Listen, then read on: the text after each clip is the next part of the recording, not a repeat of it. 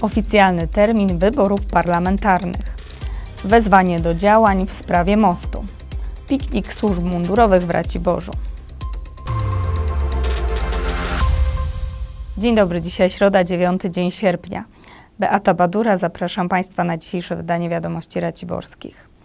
15 października 2023 roku odbędą się wybory parlamentarne. O podjęciu takiej decyzji poinformował wczoraj prezydent Andrzej Duda. Prezydent na podstawie pozytywnej opinii Państwowej Komisji Wyborczej co do proponowanego terminu wyborów do Sejmu i Senatu zarządził dzień 15 października 2023 roku dniem wyborów parlamentarnych. Po opublikowaniu postanowienia prezydenta o zarządzeniu wyborów w Dzienniku Ustaw najpóźniej piątego dnia od dnia zarządzenia wyborów formalnie ruszy kampania wyborcza. Kolejne ważne wyborcze terminy to do dnia 28 sierpnia wymagana jest rejestracja komitetów, w tym koalicji do 6 września do godziny 16 do Państwowej Komisji Wyborczej muszą wpłynąć gotowe listy kandydatów na posłów i senatorów. Ponadto do 30 września w środkach masowego przekazu pojawią się spoty komitetów wyborczych. Kampania zakończy się 13 października o północy. W Raciborzu do Sejmu kandydaci startować będą z listy okręgu 30 obejmującego powiat raciborski. Na ten okręg przypada 9 mandatów. Natomiast do Senatu okręg wyborczy to 72. Oficjalnie nie ogłoszono jeszcze nazwisk kandydatów naszego regionu, ale możemy się spodziewać startu jako jednej z kandydatów na senatora Ewy Gawędy. Do Sejmu kandydatami prawdopodobnie będą m.in. Michał Woś, Paweł Jabłoński, Adam Gawenda oraz Gabriela Lenartowicz. Polacy w wyborach parlamentarnych wybiorą na czteroletnią kadencję 460 posłów oraz 100 senatorów.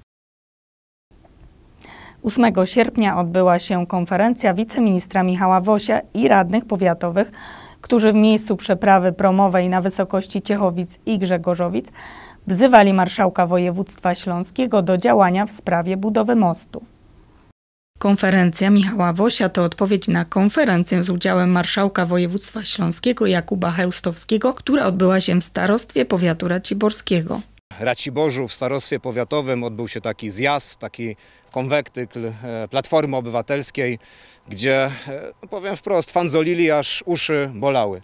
E, mówili o inwestycjach drogowych, mówili o drogach, mówili wśród wielu, bardzo wielu różnych ważnych inwestycji dla województwa śląskiego, za które odpowiada przede wszystkim Zjednoczona Prawica i które wydarzyły się w powiecie raciborskim na drogach wojewódzkich dzięki Zjednoczonej Prawicy i dzięki temu, że właśnie Zjednoczona Prawica e, zajmowała się e, e, województwem śląskim, miała większość w sejmiku, zajmowała się zarządem województwa. Wtedy te ważne decyzje także dla powiatu raciborskiego, dla ziemi raciborskiej zapadały. W Ciechowicach wiceminister Woś przypomniał, że przygotowania do budowy mostu zamknęły się w tej kadencji i objęte zostały przez rządowy program Mosty dla regionu.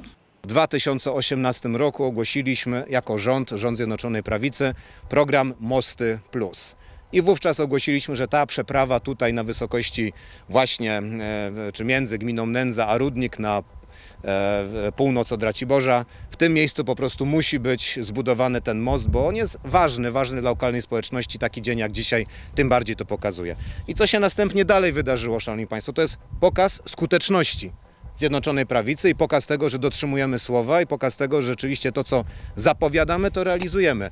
W 2019 roku wniosek złożony do programu Mosty Plus. Szanowni Państwo, tak się składa, Miałem przyjemność ten wniosek składać osobiście. Jeszcze jako członek zarządu województwa podpisywałem pismo do Ministerstwa Infrastruktury, żeby właśnie tą przeprawę, tutaj ten most na drodze wojewódzkiej 421 wybudować. W kwietniu bieżącego roku to wojewoda śląski z ramienia PiS wydał zgodę na budowę mostu łączącego gminę Nędza z gminą Rudnik. Teraz Platforma Obywatelska rządzi województwem. Od pięciu miesięcy mają zielone światło żeby ogłosić przetarg. W międzyczasie rząd potwierdził 80% dofinansowania, potwierdził, że 280 milionów złotych, 280, ćwierć miliarda złotych leży na stole, leży do wzięcia przez województwo i w tym czasie Platforma Obywatelska powinna natychmiast ogłosić ten przetarg, przetarg na budowę i ta budowa powinna się zakończyć, żeby takie dni jak dzisiaj, kiedy most Prom jest zamknięty, żeby e, przeszły do historii, żeby ten most mógł być wybudowany. Michał Woś wraz z radnymi powiatowymi podczas konferencji wezwali marszałka województwa śląskiego do podjęcia działań niezbędnych do realizacji inwestycji. Wzywamy e, województwo śląskie, wzywamy zarząd województwa śląskiego, żeby natychmiast ten przetarg został ogłoszony. E, To jest w decyzjach po tych wszystkich woltach pana marszałka, to jest w tej chwili decyzjach Platformy Obywatelskiej. Byłoby dużo, dużo lepiej, gdyby zamiast organizować jakieś dziwne zjazdy, to właśnie robili to, co do nich należy i natychmiast ogłosili ten przetarg. Ten most jest naprawdę potrzebny nie tylko mieszkańcom y, tamtej strony, ale tutaj też strony gminy y, Nędza. Jak najbardziej przychylam się do apelu pana ministra i, i, i prosimy tutaj o podjęcie jak najszybszych, najskutecznych działań przez zarząd, żeby tą przeprawę promową zlikwidować i jak najszybciej rozpocząć budowę tego mostu. Kiedy po raz pierwszy do nas dotarła ta miła i fantastyczna wprost informacja, że są plany włączenia tego zapomnianego już mostu i tej przeprawy w ten wspaniały program, no powiem, że 90% mieszkańców, którzy ze mną rozmawiali, nie wierzyli, że to się dzieje rzeczywiście. Cieszę się, że pan minister dalej ma siłę walczenia, walki o to, żeby ten most faktycznie powstał i że zostało podjęte już tyle działań, które przybliżają znacznie, że stanie się ta rzecz niewiarygodna, stanie się faktem. niezależnie od opcji politycznej, czy to radni Platformy, czy PiSu, czy też takich niezrzeszonych opcji, wszyscy zawsze mówili o tym, że ten most jest potrzebny. Więc, panie marszałku, prosimy, ten most po prostu należy się naszemu powiatowi. Przedmiotem inwestycji jest budowa mostu nad rzeką Odrą wraz z odcinkiem drogi łączącej ulicę Młyńską w Grzegorzowicach z ulicą Raciborską w Ciechowicach. W ramach zadania planowana jest również budowa rond, chodników, ścieżek rowerowych oraz dróg lokalnych stanowiących dojazd do pól. 13 sierpnia kolejna edycja pikniku służb mundurowych pod patronatem wiceministra sprawiedliwości Michała Wosia. Festyn odbędzie się na stadionie Akademii Nauk Stosowanych w Raciborzu. Policja, Służba Więzienna, Straż Graniczna oraz leśnicy wspólnie organizują piknik na stadionie przy ulicy kardynała Stefana Wyszyńskiego w Raciborzu. Wszystkich zapraszamy. Piknik rodzinny służb mundurowych. Oczywiście wszystkie służby się zaprezentują, będą miały tam swoje stanowiska. E, Będzie tam się również prezentowała służba więzienna, przedstawicielami z, z jednostki Zakładu Karnego w Raciborzu i nie tylko. E, Będziemy pokazywali Państwu wszystko, co mamy najlepsze e, i żeby Państwo nas po raz kolejny mogli poznać, zapoznać, dopytać, e, zapytać, jak to wygląda. Nasi funkcjonariusze będą e, w stanie udzielić wszelkich odpowiedzi, włącznie w kwestiach zatrudnieniowych, jak i jak to wygląda za tym wielkim murem. Dookoła bieżni stadionu stanie wiele stoisk. Prezentować będzie się Straż Graniczna, Straż Pożarna, Policja, Lasy Państwowe, Wojsko oraz Straż Więzienna. Uczestnicy imprezy będą mogli na stoiskach służb mundurowych zobaczyć i przymierzyć część umundurowania oraz porozmawiać z przedstawicielami reprezentującymi poszczególne zawody. Większość służb, które będą się wystawiały, między innymi my, będziemy mieli e, auto transportowe, którym e, konwojowani są osadzeni. Będzie można go zwiedzić, wejść do środka, zobaczyć jak to wygląda.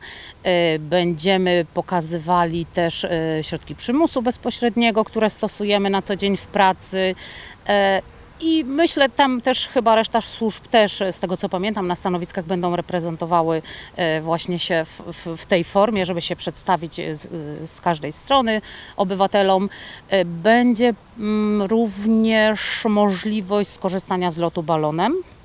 Będzie śmigłowiec lądował. Wzorem minionego roku też taką mieliśmy atrakcję. E, Koncert Arki Noego, na który zapraszamy, a cały piknik zwieńczony będzie koncertem zespołu Lux Torpeda. Ponadto organizatorzy przygotowali masę atrakcji dla dzieci i dorosłych.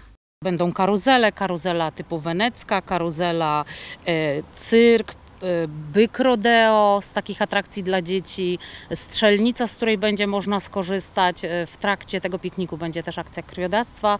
Ze względów technicznych ona zawsze tam jest e, przed wjazdem na, przed wejściem na stadion. Imprezę swoją obecnością wspierać również będą lasy państwowe.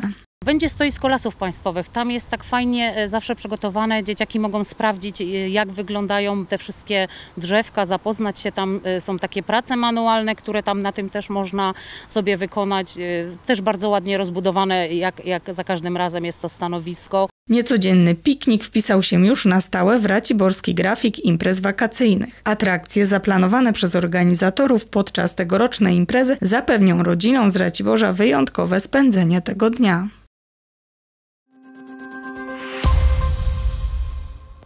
Uwaga! Pilnie potrzebna jest krew. Dlatego zgłoś się do Centrum Krwiodawstwa i Krwiolecznictwa. Oddaj krew i uratuj czyjeś zdrowie i życie. Więcej na www.gov.pl ukośnik NCK lub www.twojakrew.pl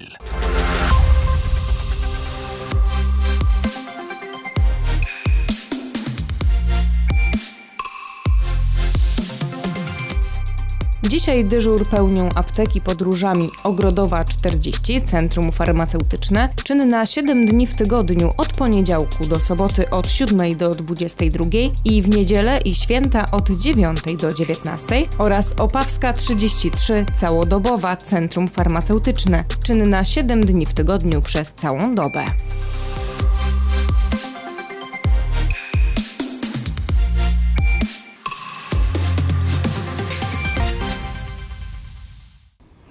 W dzisiejszym wydaniu Wiadomości Raciborskich to wszystko.